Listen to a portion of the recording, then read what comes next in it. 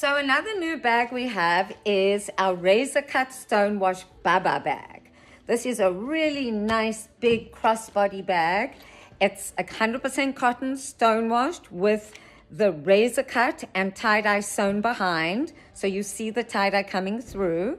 It's just one big, big um, section in the bag, but there is also one um, pocket on the inside for a little separate compartment. Um, another great feature of this bag is that it has a cell phone pocket right here, a nice big one sewn on the strap. And the straps and the back are this cool tie-dye print with the Steal Your Face applique on the front. So that is it for new bags for right now. Stay tuned. Keep watching us on Instagram and Facebook for when new items come in. We will post them right away. See you later.